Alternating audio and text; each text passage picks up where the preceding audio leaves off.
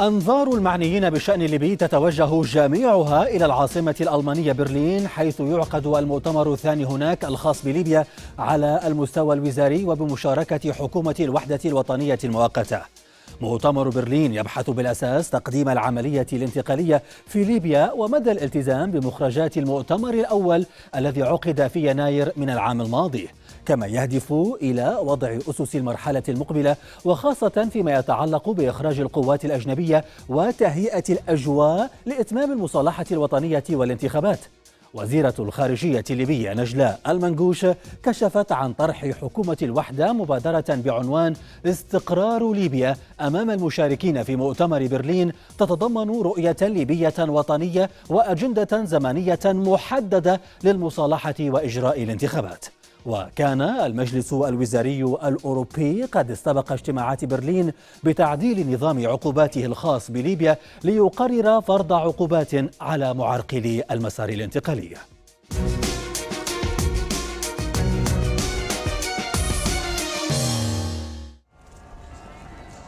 مجددا تلتقي الدول الرئيسية المعنية بالنزاع الليبي في برلين. مؤتمر برلين الثاني. الهدف من ورائه هو ضمان إجراء انتخابات في ليبيا نهاية السنة الحالية وانسحاب القوات الأجنبية والمسلحين من هذا البلد فضلا عن تقييم الأوضاع في العملية الانتقالية منذ المؤتمر الأخير والمراحل المقبلة لفرض استقرار دائم في ليبيا. وللمرة الأولى تشارك حكومة الوحدة الوطنية في مؤتمر برلين الذي يعقد على مستوى وزراء الخارجية حيث تعتزم الحكومة طرح مبادرة وطنية في المؤتمر بحسب ما ذكرت وزيرة الخارجية نجلاء المرقوش عملنا خلال الثلاثة أشهر الماضية وبوصفنا سلطة تنفيذية موحدة على إعداد مبادرة وطنية ليبية أسميناها مبادرة استقرار ليبيا. سنطرحها خلال مؤتمر برلين الثاني في الثالث والعشرين من هذا الشهر تهدف ولأول مرة منذ سنوات إلى أن يأخذ الشعب الليبي زمام أمره ويقود بنفسه هذه العملية بالتعاون مع الدول المشاركة والداعمة لاستقرار بلادنا. واستباقا للمؤتمر قرر المجلس الوزاري الأوروبي تعديل نظام عقوباته المعمول به حاليا على ليبيا لفرض عقوبات على من وصفهم بمعرقلي المسار الانتقالي. التعديل الجديد يفتح الباب أمام الأوروبيين لفرض عقوبات مستقبلية على شخصيات وهيئات ليبية متهمة بانتهاج سياسات من شأنها عرقلة خطوة إجراء انتخابات عامة محدد موعدها في الرابع والعشرين من ديسمبر المقبل.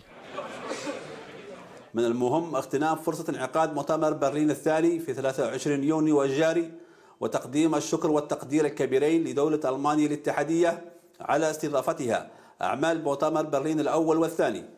آملين التأكيد على إجراء الانتخابات في موعدها والتزام حكومة الوحدة الوطنية باتخاذ كل الإجراءات اللازمة التي تسهل مهام المفوضية العليا للانتخابات ودعمها بالإمكانيات المطلوبة كما نتطلع من الدول المنخرطة في مؤتمر برلين بذل كل الجهود التي تضمن المغادرة الفورية للقوات النظامية الأجنبية وكذلك جميع المرتزقة من ليبيا بإشراف بعثة الأمم المتحدة.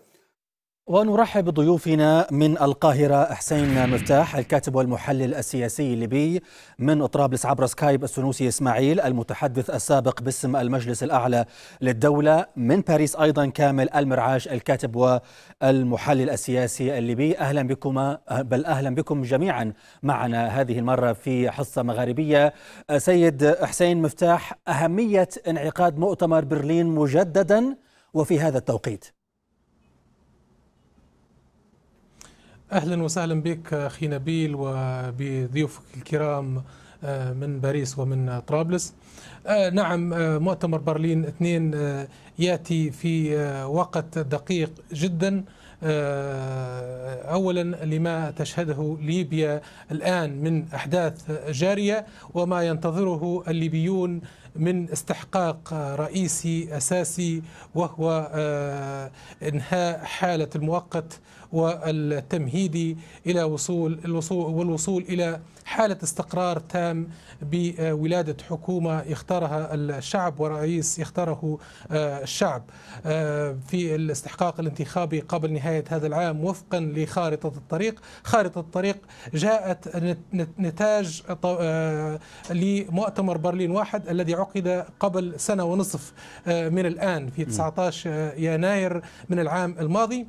ما بين برلين واحد وبرلين اثنين مرت العديد من الأحداث هي التي تجعل آه، لمؤتمر برلين اثنين أهمية قصوى آه، إذا ما تم استثماره طبعا نتكلم بتحفظ إذا ما تم استثمار هذه الفرصة بشكل عملي وبشكل آه، مثمر فخلال نعم. هذه الفترة توقفت العمليات القتالية تمكن الليبيون من الالتقاء وفق المسارات الثلاث الثلاثة التي أقرت في مؤتمر برلين وأهمها على الإطلاق هو المسار العسكري 5 زائد 5 الذي أشرف على عمليات وقف إطلاق النار ولا يزال آه، تداول هذا المسار مستمرا حتى يوم الأمس وإن كان آه، شابه شيء من البطء وشيء من نعم. آه، الوتيرة الأقل من المأمول تحدثت عن مؤتمر برلين اثنين وعن مؤتمر برلين نعم. واحد سيد حسين مفتاح وهنا أريد أن أسأل السيد السنوسي إسماعيل من طرابلس السيد السنوسي. أهمية أن تكون اليوم هناك آه، حكومة ليبية موحدة تشارك باسم ليبيا في هذا المؤتمر الذي يعقد للمرة الثانية. هل سوف يجعل هذا مخرجات آه، برلين اثنين أكثر قابلية للتنفيذ على الأرض مقارنة بمخرجات برلين واحد؟ تحية لك نبيل ولضيفيك الكريمين ولكل السادة المشاهدين. هو طبعا بدون شك يعني أن تكون ليبيا في آه، برلين آه، في الفترة الثانية أن تكون عضوا آه، كاملا يعني بمعنى انها الآن أصبحت يعني دولة طبيعية مشاركة في هذا المؤتمر بحكومة طبعا واحدة وهذه منذ حصول الانشقاق السياسي أو الشقاق السياسي في 2014 إلى الآن لم ليبيا بجسم واحد يعني إلا الآن يعني بهذا الشكل. آه، نقول أنه أفضل بكثير حتى من حكومة الوفاق التي استمرت خمس سنوات. وبالتالي فإن هذه الحكومة التي تحمل أيضا في في جعبتها مبادرة مبادرة نستطيع أن نقول أنها مبادرة وطنية. ولكي يكون هناك يعني توضيح لمطالب الشعب الليبي فيما يخص استعاده سير الدولة الليبيه وفيما يخص آه، استكمال المسار السياسي الديمقراطي وفيما يخص المحافظه على السلام والاستقرار في ليبيا وضمان يعني مصالح ليبيا مع مصالح الدول آه، برغم وجود التضارب بين هذه المصالح ولكن آه، بالإمكان تجاوز هذه المرحلة من تاريخ ليبيا وهي مرحلة سيئة جدا نتيجة تضارب مصالح هذه الدول. وبالتالي فإن هذا التمثيل يعني أكيد أكيد هو الأفضل الآن. آه، من حيث يعني نعم.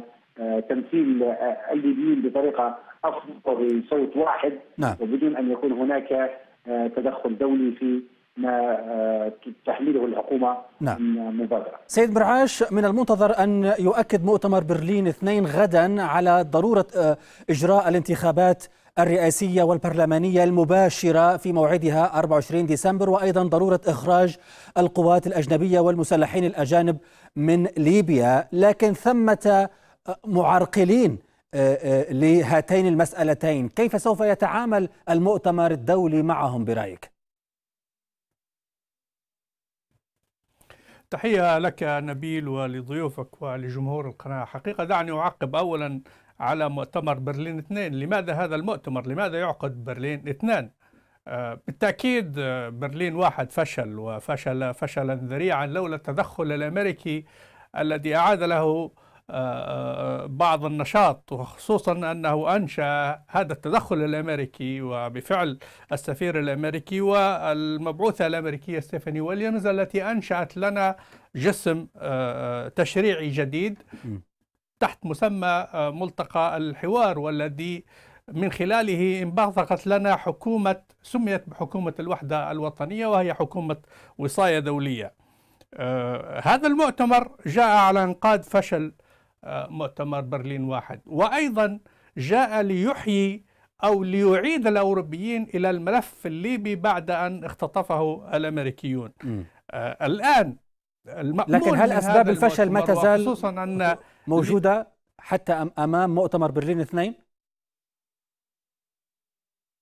نعم هي لإنقاذ حتى آه، الخطوة الأمريكية لأن حتى الخطوة الأمريكية التي أنتجت لنا حكومة وصاية هذه الحكومة وبعد ثلاثة أشهر لم تتقدم شبر واحد نحو تطبيق خارطة الطريق التي تم الاتفاق عليها في جنيف في على الأقل في شقها العسكري وفي شقها السياسي أيضا وبالتالي هذه الضرورة أو ضرورة إنقاذ برلين واحد وإنقاذ ما يسمى بحكومة الوحدة الوطنية جاء برلين اثنان. م. الآن برلين اثنان أمامه تحديات كثيرة.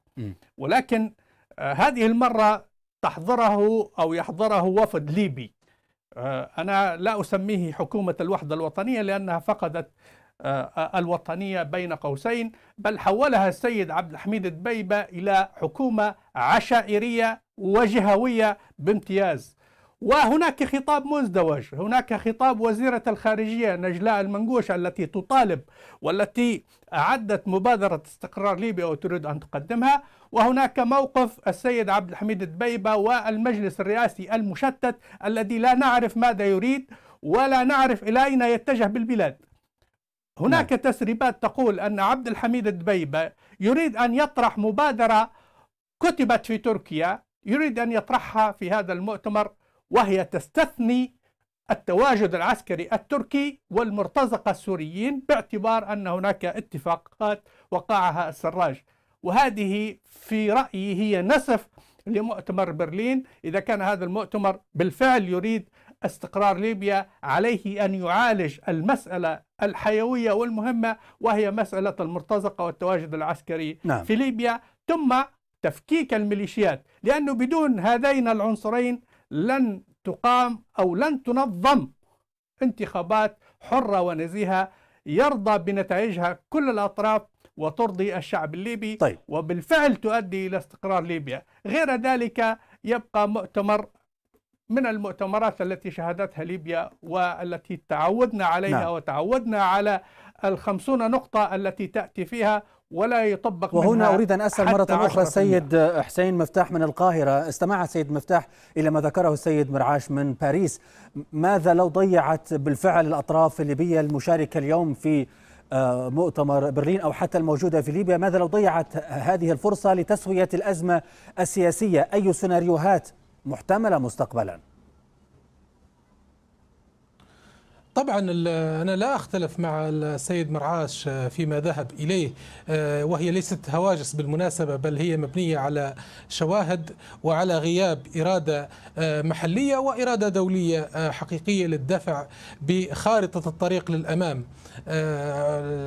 للأسف المشهد الآن المبادرة التي طرحت اليوم من وزارة من وزيرة الخارجية أعتقد أنها تتماهى تماما مع مع كافة المطالب الوطنية الصادقة. ولكن أعتقد أن هذه المبادرة لا تعدو كونها مجموعة من الأماني لا ترقى إلى أن تكون أهداف باعتبار أن الأماني ما لم توضع لها جداول أعمال ووحدات قياس محددة فإنها لن تتحول إلى أهداف.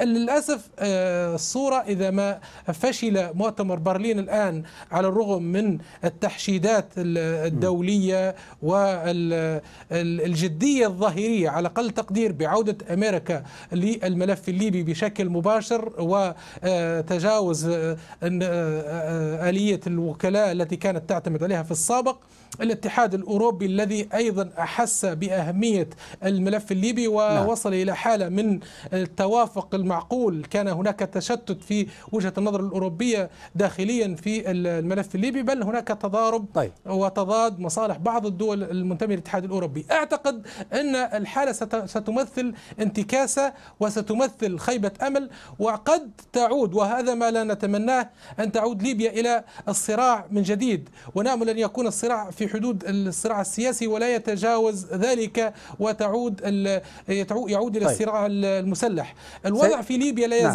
هشا خصوصا المعطيات سلبية للأسف. خصوصا إذا ما استمر بقاء القوات الأجنبية في نعم. ليبيا شبح الحرب حسب مراقبين يمكن أن يعود مرة أخرى. هنا أريد أن أسأل السيد السنوسي إسماعيل. سيد إسماعيل أمام التعنت التركي تحديدا على الأقل هذا ما نسمعه منهم ورفضهم إخراج القوات التابعة لهم والموالية لهم من الأراضي الليبية واعتبارها على حد قول وزير الدفاع التركي خلوص ياكار بأنها قوات غير أجنبية مثل ما قال.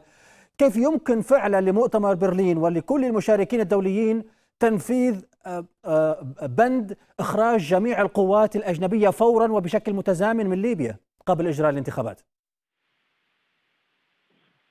طبعا في البداية لابد أن نشير إلى أن بكل تأكيد الليبيين الليبيون يرغبون في دولة مستقلة ذات سيادة خالية تماما من كل أنواع التواجد الأجنبي. وأيضا نشير إلى أن تركيا وجدت يعني بطريقة مشروعة باعتبار أن طرابلس كانت مهددة ب يعني مجموعات من المرتزقة الروس الذين كانوا موجودين في صلاح الدين ويستعدون لاقتحام طرابلس وبالتالي الآن, يعني الآن نتحدث عن المستقبل السيد إسماعيل نعم. الآن الآن الجميع بما فيهم الحكومة الجديدة تطالب ببسطة السيادة الليبية على الأراضي الليبية وإخراج كافة المرتزقة نعم. تركيا ترفض كيف يمكن حل هذا الوضع؟ لا هي شوف يا نبيل هي بالنسبة لتركيا التواجد نتاعها زي ما قلت لك إنه هو مشروع باتفاقية عسكرية بين الحكومة الليبية السابقة حكومة الوفاق وبين الحكومة التركية. هذا جانب مهم يعني في الموضوع. لكن أنا أقول لك بغض النظر إن كان إن كانت أتت باتفاقية مشروعة أو غير مشروعة اليوم هناك مطالبات هناك قرارات دولية هناك قرارات ليبية بإخراج كافة القوات الأجنبية من ليبيا بغض النظر عن كونها شرعية أم لا. لماذا لا تلتزم طيب. تركيا؟ وباختصار لو سمحت طيب. حتى أنتقل للسيد مرعش لا, لا لا طيب ما وصلناش إنها تلتزم تركيا أو لا تلتزم. لم نصل إلى هذه المرحلة بعد. يعني لأن ما دام الفاغنر موجودين ويعيشون في ليبيا وفي الجمهوريات المجاورة فسادا فهناك حاجة ماسة لتواجد الجيش التركي حينما يكون هناك خطة دولية لخروج نعم. متزامن هذا جيد لا لا ليس أحد أن يقول أن هذا نعم. هذه ليست فكرة جيدة لكن لكن رئيس المجلس الأعلى للدولة خالد المشري رفض رفض خروج جميع القوات الأجنبية بشكل متزامن لأن وجود الفاغنر يا نبيل نعم. وجود الفاغنر هو الأخطر طيب. على الليبيين وعلى كل دول الجوار. وطبعا تعرف ان, هذا نعم. خطير حتى على لكن أنت قبل قليل سيد سيد السنوسي قلت أن الليبيين كلهم يريدون إخراج كافة القوات الأجنبية والمرتزقة من ليبيا بغض النظر سواء كانوا فاغنر ولا ولا ولا غيرهم. كلمه كلمه نعم كلمة أخيرة للسيد مرعاش. في فرق كبير بين مرتزقة الفاغنر وبين نعم. الجيش التركي. المرتزق مرتزق وعلي وعليهم الخروج جميعا هذا ما يريده الليبيون هذا ما أقوله لك. طيب عموما سيد مرعاش هل نسير إلى نعم. فرض عقوبات؟ نعم يعني أنا ضيفك يتكلم على السيادة الوطنية ويتكلم عن هذه السيادة. أين كانت هذه السيادة عندما جاء وزير الدفاع التركي دون أن يستأذن أحد وينزل في مطار معيتيغا ويستقبله ضباط أتراك؟ نعم. أين كانت هذه السيادة؟ وأين كانت حكومة الوحدة الوطنية؟ وأين كان تالوت المجلس الرئاسي؟ أين كانوا هؤلاء؟ لماذا ابتلعوا ألسنتهم ولم يتكلموا عن هذه السيادة الوطنية المنهوكة تركيا؟ ثم يتكلم يقول هذه اتفاقيات. هذه الاتفاقيات غير شرعية. حتى الطاغية أردوغان عرضها على مجلس نوابه ليصادق عليها ثم تصبح نافذة.